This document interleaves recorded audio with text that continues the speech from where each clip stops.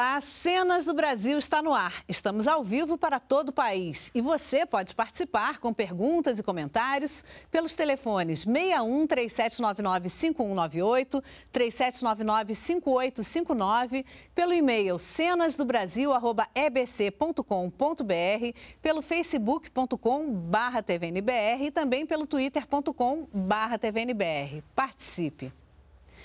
2014 é o Ano Internacional da Agricultura Familiar. E o governo federal também comemora os 10 anos do PAA, o Programa de Aquisição de Alimentos. Nesse período, foram investidos mais de 5 bilhões de reais em recursos federais na compra de 4 milhões de toneladas de alimentos produzidos por 388 mil famílias em todo o país. Para celebrar, um seminário internacional reúne em Brasília, no início de fevereiro, comitivas de oito países da América Latina e cinco da África, além de agricultores, representantes de organizações internacionais e autoridades em segurança alimentar e nutricional. E para falar sobre isso, estão aqui comigo Arnoldo de Campos, secretário nacional de Segurança Alimentar e Nutricional do MDS, o Ministério do Desenvolvimento Social e Combate à Fome, e Alan Bojanic, representante da FAO no Brasil, a Organização das Nações Unidas para Alimentação e Agricultura. Boa noite, bem-vindos. Obrigada noite. pela presença de vocês. Uma honra estar aqui com você. Antes da nossa conversa, vamos ver um vídeo feito pelo MDS. A gente era, foi nascido na roça, né? E foi trabalhando sempre na roça, junto com os pais, a mãe. Eu trabalhava assim para fora e eu via muita terra, né? Mas a terra não era minha, eu trabalhava, mas não podia fazer uma plantação. E sempre naquela ideia, será que eu nunca vou possuir um pedacinho de terra? Hoje, Joaquim tem a sua terra e sua produção é comprada pelo PAA, programa do governo federal que compra alimentos da agricultura familiar e destina à população pobre. Hoje eu sinto feliz de ter uma terra, né? O que eu esperava, já, bem dizer, já está acontecido. Com o crescimento da produção, sua filha Márcia e o genro Carlos saíram da cidade para trabalhar na plantação. Eu nasci em sítio, meu marido também. Como meu pai conseguiu a terra, a gente viu que era bom a gente trabalhar junto. Com essa terra aqui, o que está produzindo, aí eu posso comprar, o que eu não podia comprar antes. Depois recebi o Pronato, fiz um poço artesiano, comprei um tratorzinho. Hoje eu tenho um carro, foi a minha alegria. E hoje que eu bem pensar, eu tenho a terra e o branco, né? Antes da cooperativa, a gente produzia, só não sabia onde você ia entregar. Com a cooperativa, não, a gente já sabe que é venda certa. Eles vêm aqui na porta de casa e, e levam.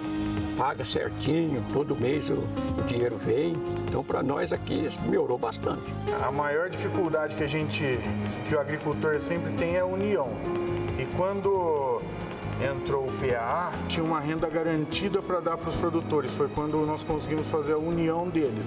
O futuro da família de Joaquim está sendo reescrito e hoje a sua produção está sendo comercializada numa grande rede de supermercados. Se eu sair daqui para a cidade, aí eu, eu, vou ficar doente. E a minha alegria está mexendo com o branco. Com a terra eu estou no céu. Vamos à nossa conversa. Secretário, um breve balanço desses 10 anos aí do Programa de Aquisição de Alimentos. Difícil concorrer com o vídeo, né? O depoimento de estudo. São 10 anos de compras da agricultura familiar, de abastecimento de instituições de segurança alimentar, socioassistenciais, de educação. Um aprendizado muito grande para os agricultores, esse planejamento de produzir, de entregar em determinadas épocas, um cronograma, os preços organizar essa produção, cooperativismo, as entidades receberem o alimento fresco, o alimento de época, o alimento saudável, o alimento adequado. Uma série de vantagens para o país, um, um programa que consegue, com o mesmo recurso, duas grandes finalidades: fortalecer a agricultura familiar, muito importante para o nosso país, e, de outro lado, também promover segurança alimentar, acesso à alimentação para aquelas famílias mais vulneráveis, aquelas pessoas que estão precisando daquele alimento naquele momento. Doutor Alan, é, o PA já é uma referência internacional? Existe até a experiência na África também, né? Sem dúvida, sem dúvida. O, o PA já está sendo implementado com algumas variações, adaptações para os países na América Latina, na África. tem um PA África que foi promovido pelo Brasil, mas também os governos, como o governo da Bolívia, adotou um esquema muito parecido, não? que foi inspirado na, na experiência brasileira, que também teve algum apoio técnico, mas são com recursos do próprio país. E assim também tem na Nicarágua, na Centro-América, esquemas que estão tomando em conta o que foi feito aqui no Brasil. Então, é mais que uma referência, um modelo, né? uma ideia muito forte com a qual você não só fomenta os pequenos produtores, mas também garante uma boa alimentação aos grupos vulneráveis. Então, uma ideia que está na base do desenvolvimento rural e também na base da segurança alimentar das povoações da, das cidades, das urbes, porque isso que é importante, não? Fechar o, o, um circuito virtuoso para gerar mais renda, para gerar crescimento.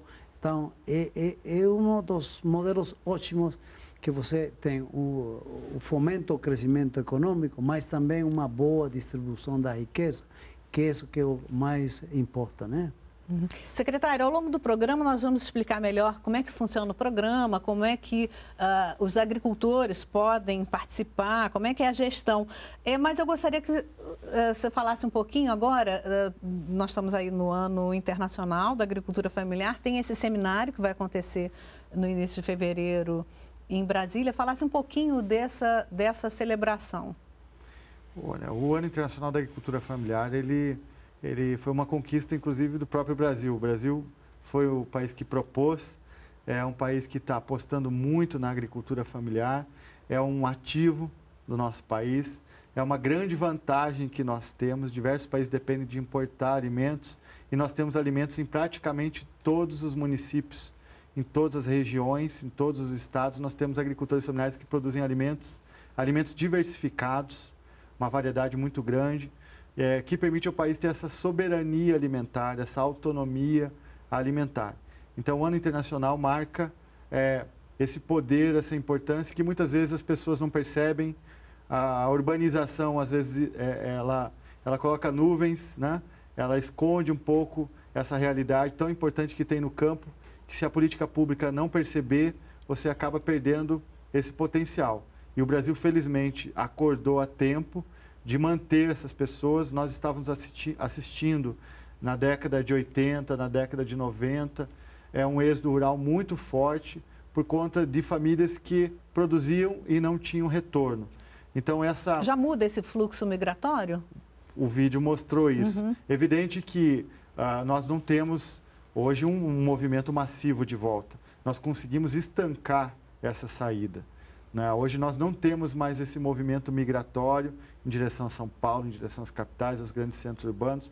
As pessoas estão tendo a oportunidade de produzir e obter renda. Seja porque hoje os preços estão melhores, seja porque tem mais proteção, os agricultores têm seguro, têm crédito. Há uma série de mecanismos no país que favorecem a agricultura familiar, a agricultura de maneira geral e a agricultura familiar em particular, que acaba retornando para a família e, e as pessoas permanecem, porque o gosto pela terra é uma característica do agricultor. Geralmente eles têm muito apego, muitas raízes no local e se tiver oportunidade as pessoas ficam. Eu acredito que nós conseguimos nesses 10 anos de política para a agricultura familiar e o PA é um caso, né, é uma das uhum. políticas de referência nessa área nós conseguimos realmente dar uma volta nessa situação que a gente tinha aqui no país. E para a agricultura familiar no mundo, a importância é, desse ano internacional? É muito forte porque é, foi uma declaração das Nações Unidas, não? então são os 200 países que estiveram na Assembleia apoiaram isso, porque é, a gravitação, o peso que tem a agricultura familiar em muitos países, como no Brasil, é acima de 50%, 70%, até 80% dos alimentos vêm da agricultura familiar. Então, o, a, a, oportunidade não é só apresentar a importância que tem a agricultura familiar para a economia, para a sociedade dos países, mas também de ajustar políticas, de profundizar as políticas, de realmente fortalecer as organizações de produtores. Então, é uma grande oportunidade para fazer uma agricultura ainda melhor, porque o mundo do futuro vai demandar muitos alimentos. Temos que produzir pelo menos 70% a mais dos alimentos para daqui 20, 30 anos. Então, isso só vai ser possível se temos uma agricultura familiar forte, uma agricultura familiar onde a migração das áreas rurais para as áreas urbanas vai ser contida e também onde eles podem ter uma renda digna, uma renda para ficar ali. Então, é importantíssimo é, aprofundar nas políticas, aprofundar nas ações para fortalecer a agricultura. É, é, a oportunidade da agricultura familiar no mundo inteiro, né? E esse seminário? O seminário ele quer celebrar, mas quer também debater, discutir, trazer as experiências, trazer os especialistas, os casos, a reflexão para que a gente possa começar a sonhar também nos próximos 10 anos. O PA tem um legado, tem um aprendizado e nós reconhecemos que é um programa em aperfeiçoamento. Ele precisa sempre estar melhorando. Ele é muito dinâmico, as necessidades mudam. Então, o seminário está abordando essas questões. Nós tínhamos, por exemplo, em 2003... O, no, a... o seminário é centrado no programa de aquisição de, de, alimentos. O seminário é totalmente focado no programa de aquisição de alimentos, 10 anos de aquisição de alimentos. A gente vai estar lançando um livro com várias reflexões sobre o assunto, trazendo pessoas que discutem o programa. É um programa que nasceu junto com o Fome Zero. Ele era uma das ações do Fome Zero. E o Brasil hoje está virando essa página da fome. Novos desafios surgem. Então, como que o PA vai se atualizar? A alimentação saudável, como o PA é um instrumento de acesso à alimentação saudável, de combate à alimentação que causa danos à saúde, que provoca o sobrepeso, a obesidade, que estimula a agroecologia, o produto orgânico, que valoriza o produto da floresta, que traz as castanhas, né, as frutas, os produtos que podem ser produzidos sem derrubar a nossa floresta, gerando renda para as comunidades tradicionais. Então, o, o seminário ele vai fazer essa reflexão e é uma grande contribuição que a gente está dando. Inclusive, já trazendo aprendizados de fora. No começo, nós tínhamos essa cooperação ofertando, né? E hoje o PA está sendo executado em vários países. A gente também já começa a aprender um pouco também com as soluções que vão sendo encontradas em outros países e isso é uhum. muito importante. E qualquer um pode assistir esse seminário pela internet, não é Exatamente. isso? Exatamente. Nós vamos estar transmitindo ao vivo o seminário. Dia 4 da... de fevereiro. 4 de fevereiro, www.pa10anos.com.br você vai poder assistir ou depois baixar o vídeo para poder acompanhar os debates, diversas figuras. O Graziano, uhum. presidente da FAO, o ex-presidente Lula, que foi no governo dele que criou, é, autoridades, ministros, técnicos, agricultores, inclusive de outros países, vão estar apresentando sua experiência. Uhum. Vai ser um seminário bem interessante. Importância desse seminário? Fundamental, porque vamos compartilhar experiências, vamos trazer as experiências da implementação do PA na África, por exemplo, a Etiópia é um país que tem implementado um esquema parecido a, a, a, ao, PA. Vamos conhecer essas experiências, vamos também ver lições, não? quais que são as lições aprendidas, onde que podemos aperfeiçoar. Então, vamos trazer um conhecimento global para tirar as melhores eh, experiências, as melhores lições para justamente é, melhorar o, o, esquema de, de, compra de alimentos distribuição de alimentos, uhum. particularmente vamos fazer muito ênfase na questão das crianças, alimentação escolar, que vamos ter uma, um dos das falas vai ser nessa direção, né? Bom, estamos aqui com participação de telespectadores pelo Facebook. Pauline Herb, ela pergunta o seguinte: aqui já utilizam cascas de banana para fazer pratos salgados e gostosos, como se faz na América Central, por exemplo? Se utiliza aquilo que se jogaria no lixo para fazer um prato gostoso e nutritivo? O que, por exemplo? Olha, hoje o, o, é uma boa pergunta, porque o PA, um dos principais parceiros é o Banco de Alimentos. É, existem bancos de alimentos públicos, o SESC coordena um grande movimento de bancos de alimentos que, junto com os produtos da agricultura familiar, se aproveita também tudo que é possível das doações que são feitas aos bancos de alimentos. Então há toda uma criatividade, uma, toda uma ciência em torno dos produtos, o reaproveitamento, a casca, o produto que não tem a melhor apresentação. Eu vi outro dia várias receitas num restaurante popular de casca de melancia. De sucos, E, então há uma infinidade muito rica, é um aprendizado que nós precisamos difundir e o PA está associado a isso. O aproveitamento integral dos alimentos é muito importante. Porque a gente ainda tem uma tradição muito grande de desperdício, né? Isso, que é um grande problema, não? o desperdício, que em muitos casos vai até um 30% da colheita, vai para o lixo, não tem perda e tem o desperdício. Então, é, para isso precisamos de ideias criativas de como reduzir as perdas, porque é um absurdo que até agora tenhamos 840 milhões de pessoas com fome no mundo inteiro e que tenhamos desperdícios de alimentos, que não aproveitemos melhor o que temos, o que estamos produzindo, né? Sebastian Archer é, comenta o seguinte: seria interessante ensinar ou pelo menos informar sobre o educativo lixo de cada dia, o que deveria ser aproveitado, inclusive em pratos específicos ou na reciclagem de adubos naturais. E ele também pergunta como combater o fungo do tomateiro com defensivos orgânicos e naturais. Trata-se de produção caseira. Essa é uma pergunta que deve ser direcionada para a assistência técnica local. Nosso conhecimento aqui é mais na gestão do programa.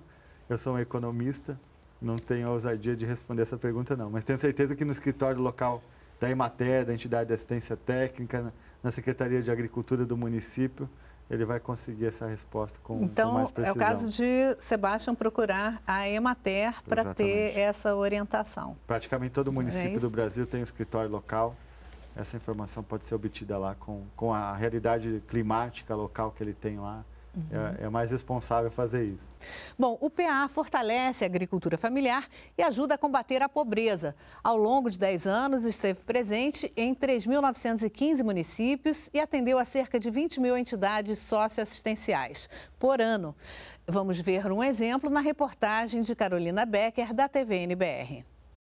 Uma vez por semana, os voluntários da creche Renascer vão ao Banco de Alimentos, na SEASA do Distrito Federal, que recebe e distribui os produtos adquiridos pelo Programa de Aquisição de Alimentos para as entidades. A fundadora da creche recebe os alimentos fresquinhos da agricultura familiar. Ele vai direto para a creche e aí lá é feito um almoço delicioso para as crianças e elas adoram, que é sempre fresquinho o alimento. A creche atende crianças de 2 a 5 anos, a maioria filho de catadores de um lixão em Brasília. O trabalho da entidade começou há nove anos. Nós começamos então é, como se fosse um reforço escolar. E a primeira mãe que chegou, ela era trabalhadora do lixão, queria deixar a criança e ela falou que ela podia pagar.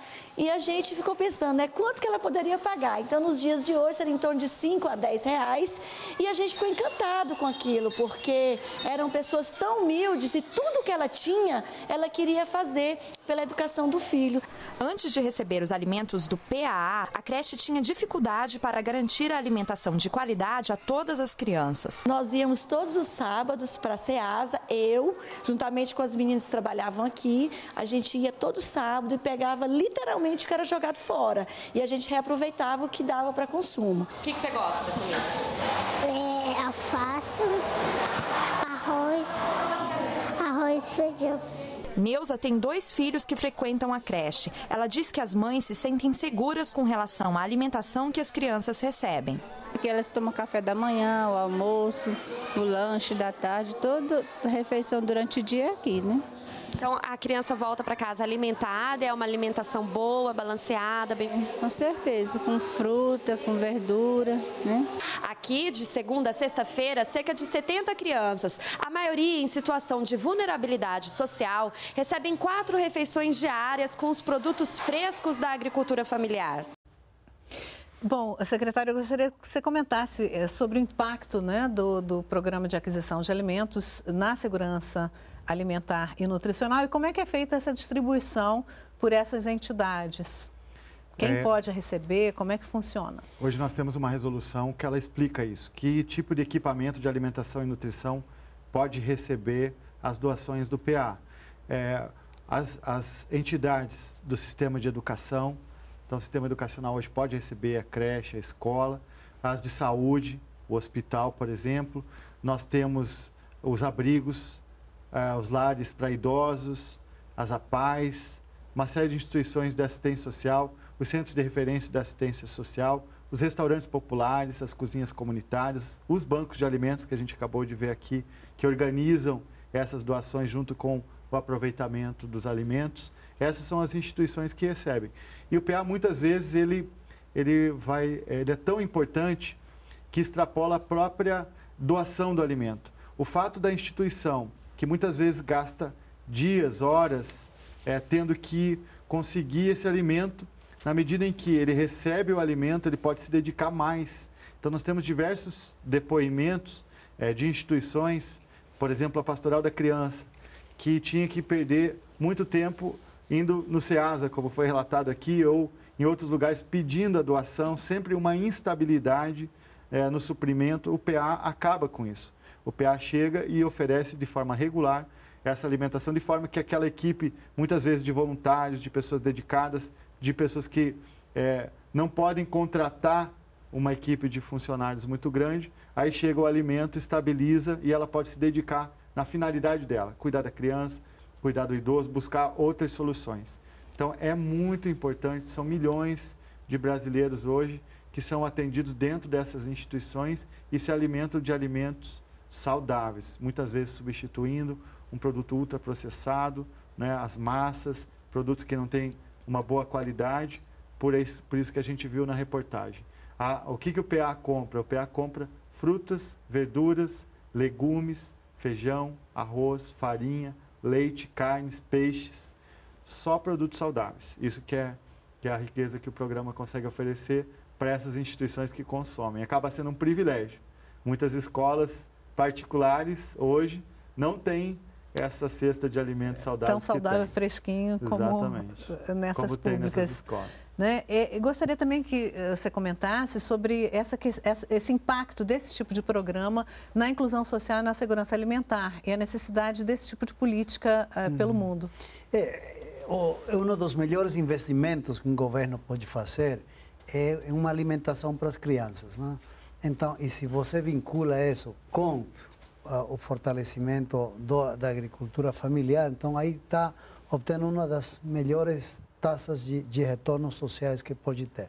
Então, é por isso que agora o, o, o programa de alimentação escolar também foi viabilizado, facilitado pela FAO, a experiência brasileira, e temos agora programas uh, com esse tipo em 10 países na, na América Latina, temos Nicarágua, Equador, temos 10 países, onde eh, a experiência brasileira foi apresentada justamente para melhorar a nutrição das, das crianças, para melhorar o sistema de distribuição, sempre vinculando com o que é o desenvolvimento das, das áreas rurais. Não?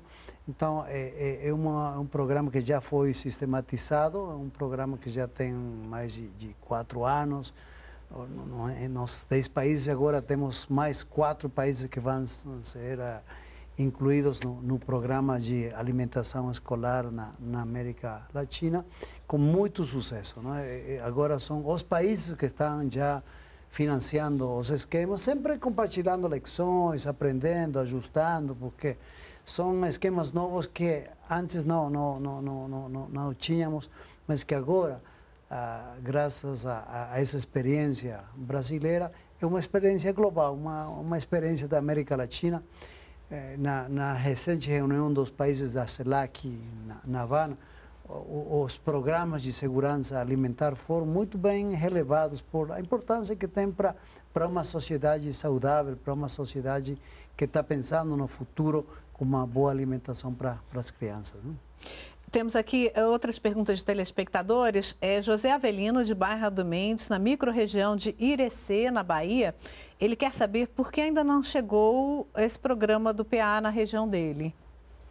Olha, nós estamos em 3.915 municípios, então ainda temos quase 2 mil municípios para acrescentar. E na Bahia, nós vamos chegar lá, porque o Estado da Bahia assumiu o compromisso conosco de trazer todos os municípios da Bahia é, para o PA. Nós estamos nesse momento, inclusive, a cada semana, incluindo novos municípios do estado da Bahia. É um dos estados que mais amplia o PA hoje.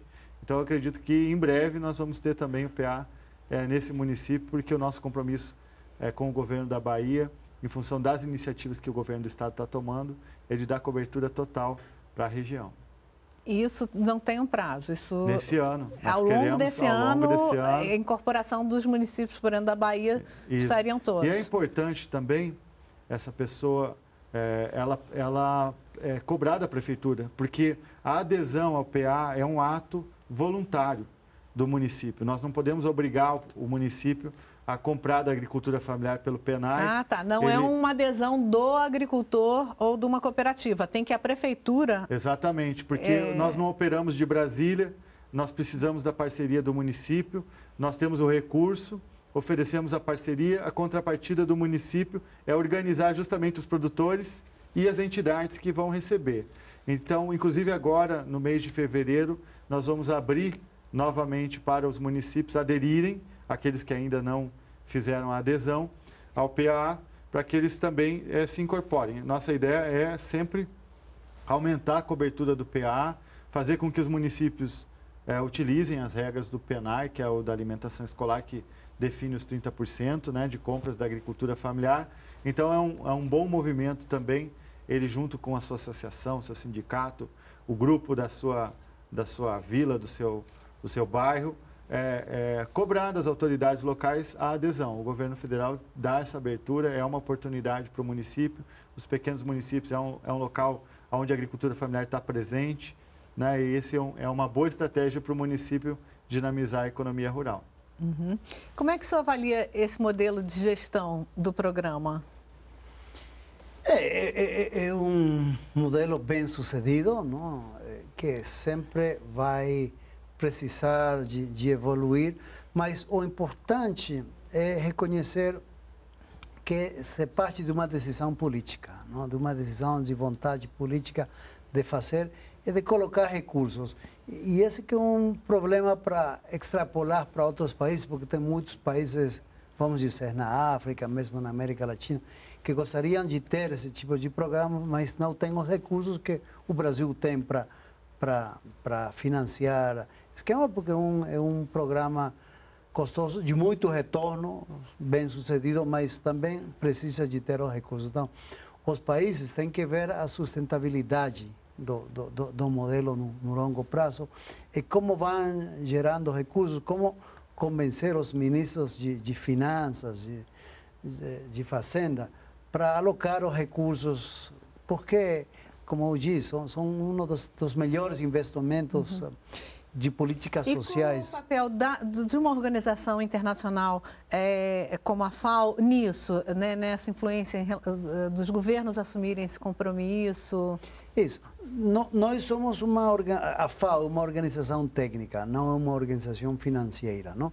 Mas o que nós fazemos é apresentar experiências, fazer o lobby com com os ministros, mostrar as vantagens, sistematizar, apresentar publicações, sempre com a ideia de, de contribuir com nossos técnicos também que temos, de, de como podemos ir sempre aperfeiçoando esses mecanismos. Então, nosso rol é fundamentalmente de, de, o que se diz em inglês, de, de advocacy, de promover, de promocionar, é de tratar de, de convencer os ministros de, investir nessas uh, prioridades uh, para uma sociedade, né? Uhum. É, Pedro Francisco, telespectador de Santo André, em São Paulo, ele dá uma sugestão, que o programa não deveria ser passado só na NBR, mas também em outras televisões. Uhum. Lamenta que o povo esteja interessado só em futebol e novela e não em agricultura familiar. Ele disse que participa sempre dos programas da NBR e acha que mais pessoas deveriam ver para ficar sabendo das coisas que o governo faz. Bom, obrigada, é, Pedro, aí, pela sua sugestão, pela sua, sua, participação. Tem uma outra participação aqui, não, não, a pessoa não se identificou, é, que fala o seguinte: até algum tempo atrás, dizer que o Brasil era exportador de produtos agrícolas era o mesmo que dizer que o país era subdesenvolvido. Hoje não. Hoje o Brasil é considerado o celeiro do mundo. O que mudou? Olha, é, eu acredito que a imagem do Brasil mudou muito é, por conta das iniciativas voltadas para o seu interior. Há pouco tempo atrás, o Brasil era um, um país re, realmente reconhecido é, pela sua exportação, mas que não cuidava da sua população, que não tinha cuidado com as pessoas que viviam aqui. Eu acho que essa imagem está mudando. o Brasil hoje ele consegue cuidar das pessoas, ele consegue cuidar dos seus agricultores, ele alimenta a sua população. Nossos indicadores de segurança alimentar, de nutrição, é, as quedas na desnutrição infantil, o tamanho das crianças é, correto para a sua idade, o desenvolvimento, o acesso à alimentação tem sido realmente uma das grandes marcas que nós conquistamos.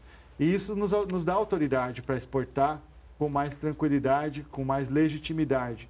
Porque antes passava essa imagem de que nós, nós não estávamos tirando quase que dos brasileiros né, e, e gerando superávites comerciais para equilibrar os nossos problemas. Hoje, exportar é possível, o Brasil é, tem um modelo agrícola muito forte porque ele, ao mesmo tempo, mantém o empresário rural. É, o Brasil ele não fez uma campanha contra o empresário rural. É, as grandes propriedades têm o seu papel, contribuem com a economia e convivem com a agricultura familiar, com os assentamentos da reforma agrária. Esse modelo brasileiro ele é muito poderoso porque ele promove segurança alimentar aqui, ao mesmo tempo a gente consegue contribuir com a segurança alimentar de países que não têm essa mesma condição natural que nos propicia essa, essa condição produtiva. Alan, quer comentar também sobre a pergunta do telespectador? É, com, com, certeza que o que mais está uh, precisando é esse compromisso, não? É, compromisso para mudar as coisas, o, o, modelo brasileiro de complementariedade de, uma, de um setor exportador com um setor da agricultura familiar, tem muitas complementariedades que, que, que se tem aí, é, complementariedades no sentido da, das tecnologias que são transvasadas de um, de um setor para outro, complementaridades que também têm a ver com o sistema financeiro, complementaridades com os mecanismos de assistência técnica.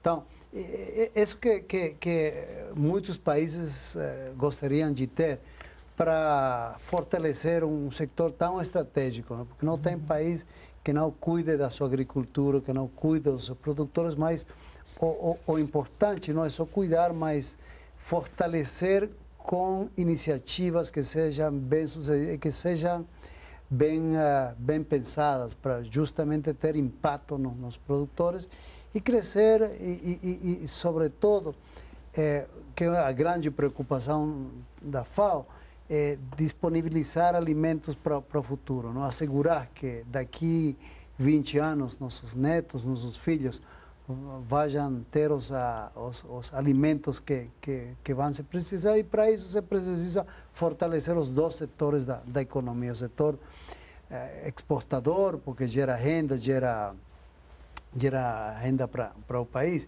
e o setor social da, da agricultura, que é o setor da, da agricultura familiar. Não? Uma ideia muito forte.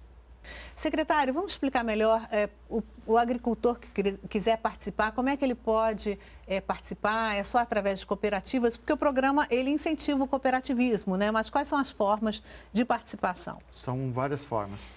Ele tem várias modalidades, é, dependendo da situação, da função. Tem diferentes operadores, o município, a Conab, o Estado, dependendo da região, você tem mais de um operador.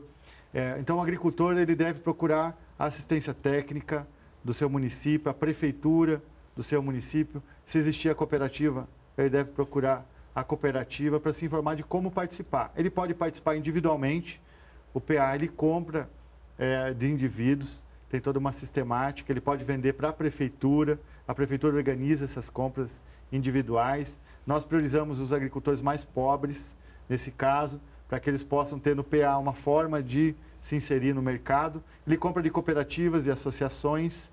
Então, se você está organizado, é uma forma importante e mais fácil de vender para o governo. Você tem a escala, você tem uma série de simplificações nos e procedimentos. E ele recebe direto o dinheiro ou ele recebe através da cooperativa? Quando ele está organizado em cooperativa, a cooperativa é que comercializa o produto, recolhe essa produção, muitas vezes embala, limpa, empacota, é, rotula, depende do trabalho que a cooperativa vai fazer, é, ou ele vende individualmente direto é, para a prefeitura. Nesses dois caminhos, quando é com a cooperativa, a cooperativa recebe e repassa. E quando é individualmente, ele recebe direto na conta dele. Quando é por cooperativa, nós damos um limite de venda maior, porque para nós é importante esse movimento de organização E é, a gente tem vários dados que comprovam que o agricultor que participa de cooperativas tem mais renda do que aquele que não participa, porque através da cooperativa ele acessa mais aos mercados, ele consegue processar os seus produtos, estocar os seus produtos. Então o programa tem incentivos ao cooperativismo. Então se você que está nos assistindo é um agricultor ou mesmo é do município e quer que o PA vá para lá, procure o Sindicato de Trabalhadores Rurais, procure a Secretaria de Agricultura, a Secretaria de Assistência Social do seu município, a entidade de assistência técnica. Todas essas instituições elas têm conhecimento sobre o funcionamento do PA e pode ajudar você uhum. a participar do programa, seja recebendo, se você é uma instituição social, seja é, produzindo se você é um agricultor familiar. Uhum. E é, é, a comercialização, Alan, é um desafio no mundo todo para o pequeno agricultor? É, é um desafio porque tem que ter muitas vezes a qualidade, tem que ter o acesso. Então, o que falávamos, como reduzir as perdas do, dos alimentos na comercialização, como garantir um preço que vai ser um, um, um preço que vai dar uma rentabilidade social e econômica a, ao produtor. Então, os esquemas de comercialização, quando é individual, tem muita mais uh, uh, possibilidades de que não vai dar certo. Mas quando você tem uma, uma compra garantida, uma aquisição garantida, e tem uma, vamos dizer, uma cooperativa para fazer a, a, a recolheita e vai ter garantido assistência técnica.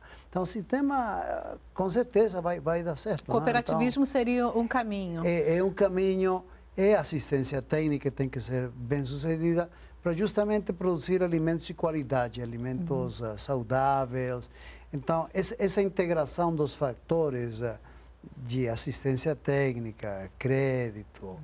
é, uma segurança de um preço de rentabilidade são essenciais, né? Uhum. É... Agora, ao longo do programa, você vem colocando essa preocupação com o futuro, uhum. né? Que precisa aumentar em muito a produção de alimentos. Isso. Como é que você vê isso? Ah, é, é, é, é, porque existem milhões de pessoas ainda passando hum. fome, embora hoje também seja um desafio a questão uh, do sobrepeso, né, de uma alimentação saudável, mas tem mil, milhões de pessoas uhum, uh, passando uhum. fome. Como é que você vê essa perspectiva uh, aí para frente, mundialmente falando? Eu, eu, sou otimista, porque temos modelos, já, já eu acho que temos encontrado a fórmula para fazer desenvolvimento das áreas rurais. É, é, para isso se precisa diz, da, da vontade política fundamental para alocar os recursos, mas o, o, o, eu acho que temos as possibilidades de produzir os alimentos. O problema atual do mundo não é a produção de alimentos. Nesse momento, temos mais alimentos do que eh, consumimos. Então, temos um excedente de alimentos. O problema está na, no acesso, na distribuição.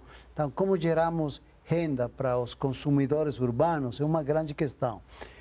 Gerar renda para os produtores rurais, já estamos vendo um modelo brasileiro nesse caso, mas a grande questão é como asseguramos que todos os, os, os as populações vulneráveis das cidades eh, do mundo inteiro tenham uma renda que vá, possa garantir uma, uma alimentação saudável. Aí que ainda precisamos de de políticas sociais, precisamos de, de esquemas como o esquema Brasil sem Miséria ou, ou esquemas que vão dar uh, possibilidades para que todo mundo tenha o dinheiro para poder aceder ao alimento. Então, a questão é mais da distribuição. E, e o futuro também vai nessa direção. Como garantimos uma distribuição da produção? Porque temos as possibilidades tecnológicas de produzir 70% a mais do que eh, temos hoje, em termos de produção de grãos de outros alimentos, mesmo carnes, mas como vamos a, assegurar uma distribuição? Essa que é a Esse grande é um grande questão. desafio. É, secretário, e essa questão do incentivo, né? Existe essa preocupação também com a alimentação saudável, né? Até é, você citou no bloco anterior que os produtos que, que, são comprados, são distribuídos pelo PA, são muito saudáveis, frescos, são frutas, hortaliças e tal. É, existe um incentivo à produção agroecológica que foi citada aqui, como é que é isso? E, e orgânicos, há, um, um, um, é, há mais crédito para que se produza dessa forma? A presidente Dilma lançou recentemente a, a no, no meio do ano passado, a Política Nacional de Agroecologia e Produção Orgânica. E dentro dela tem toda um, uma preocupação também com os produtos da biodiversidade brasileira, que estão por debaixo das nossas florestas e que têm altíssimo valor nutricional e que propiciam uma convivência da floresta com as pessoas que estão ali, não necessitando desmatamento, gerando renda. E o, e o programa hoje ele tem metas. Por exemplo, em relação à agroecologia, a nossa meta é adquirir pelo menos 5% do programa, é, dos recursos do programa, terem originação na agricultura orgânica, na agricultura agroecológica. E nós estamos estimulando a Conab, que é a nossa operadora, os estados, os municípios a comprar esse tipo de produto, a procurar primeiro esse tipo de produto, inclusive autorizando a pagar preços maiores né, que os praticados na agricultura convencional. Nós reconhecemos que, no caso da agricultura orgânica, é importante remunerar melhor esse produtor, ele faz um investimento na mão de obra, ele tem desafios maiores no sistema de produção. Então, nós estamos focando hoje muito para que o PA também seja um instrumento de alavancagem de cadeias de produção de alimentos saudáveis e sustentáveis. Porque a gente acredita que no futuro é, isso vai se transformar numa grande oportunidade para o nosso país. Na verdade, hoje, o, o, esse tipo de produto tem uma taxa de crescimento é, de consumo bem maior do que os demais. A população hoje já procura o alimento mais saudável. Então, o governo está preocupado em diversas frentes de ampliar a oferta de alimentos saudáveis e sustentáveis, como a, ocorre com os alimentos agroecológicos, com os produtos uhum. orgânicos, que têm essa característica e pode ser uma excelente oportunidade para o produtor, que vai ter um sistema de produção mais saudável para ele, com mais renda.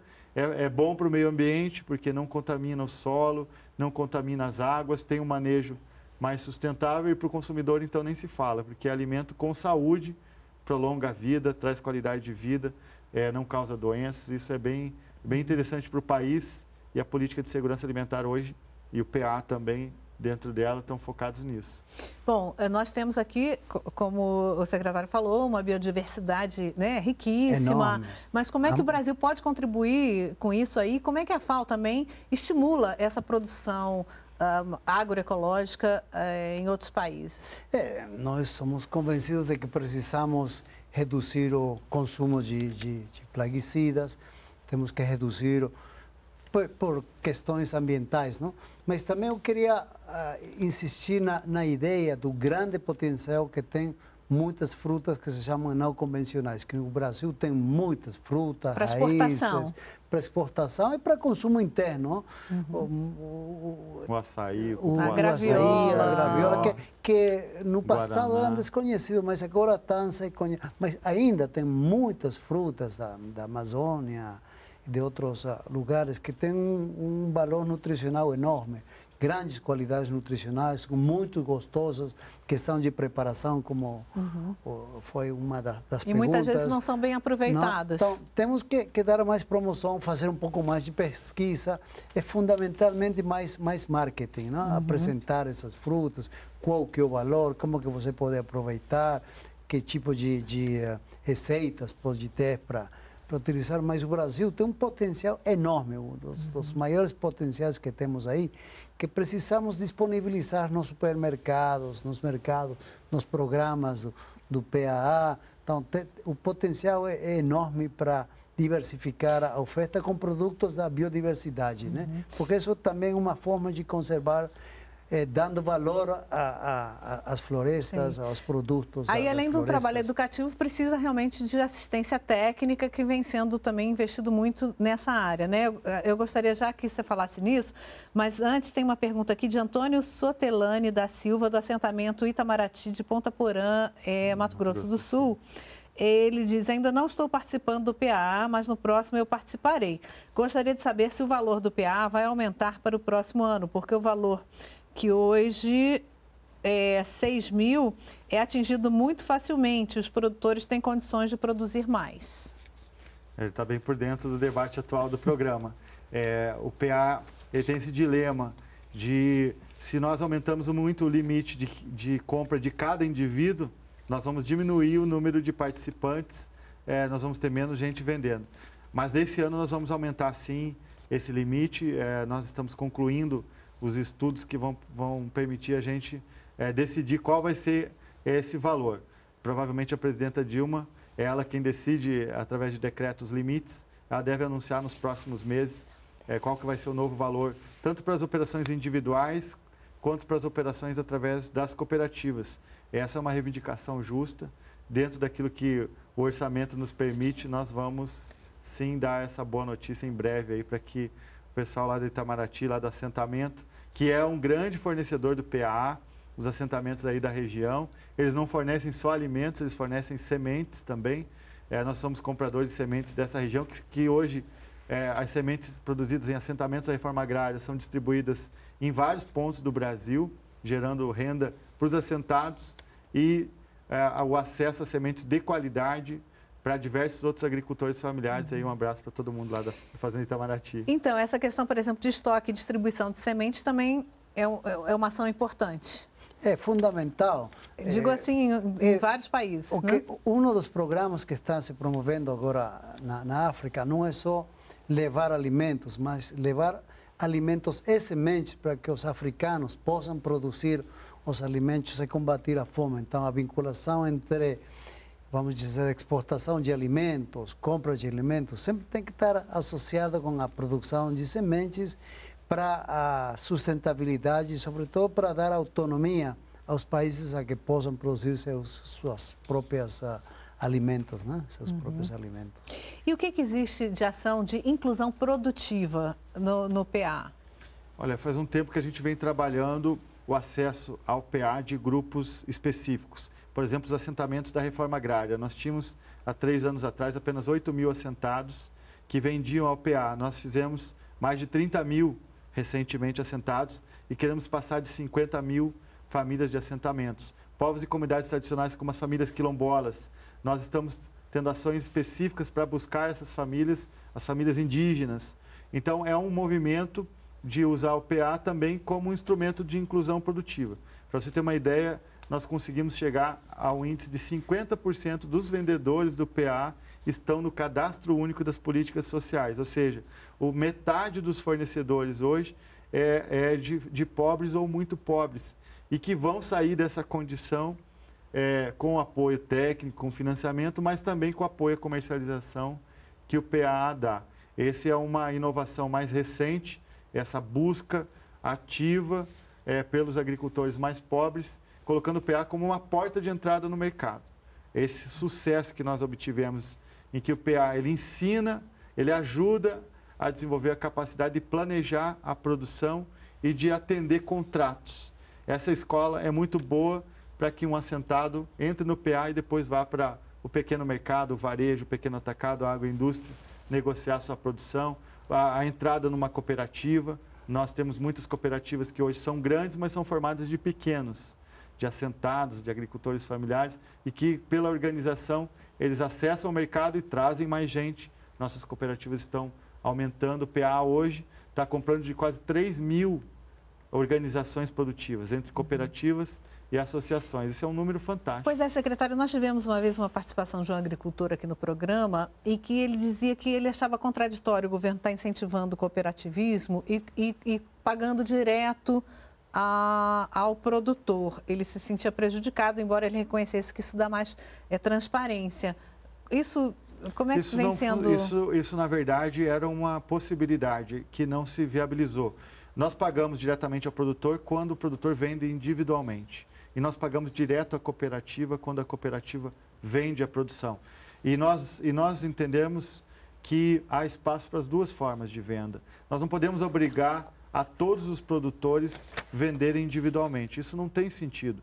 É, e nem o contrário, obrigar todos os agricultores a vender através de cooperativas. É, o desenvolvimento, ele se dá por ter opções.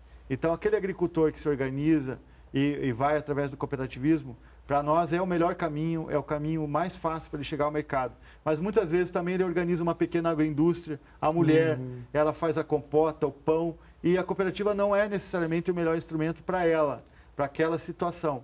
Então nós temos que reconhecer essa diversidade, que é tão rica, e as formas de se organizar, de produzir, de vender, elas podem ser variadas também.